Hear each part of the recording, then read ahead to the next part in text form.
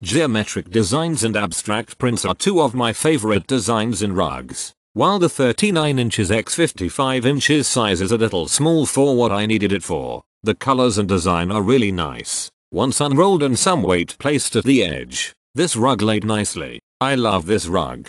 Perfect for small spaces. I use two-sided tape to keep the ends from curling. Shipped fast and great price my cat loves it too. I've purchased several area rugs lately and I always go for the non-rubber backing type due to having LVP flooring. This rug is much thicker plusher than I thought it would be. It's perfect for next to my bed as cold as the nights have been recently since I hate walking on cold floors. You can put a rug pad underneath, but for me it's fine as is. However, it'll slide fairly easy if you don't have a pad or rug anchors. Medium sized brown area rug with a geometric pattern on it. Has light dark brown hues and a unique eye-catching pattern. It's 39 x 55 inches so it's not too large or too small. It's a medium sized rug. This would work well in a small bedroom or an entryway. It looks like it's good quality, of a medium thickness yet lightweight. 4 stars. My Pomeranian likes a rug to play with her toys and sleep on it and this one works well for its size and quality. It is easy to clean,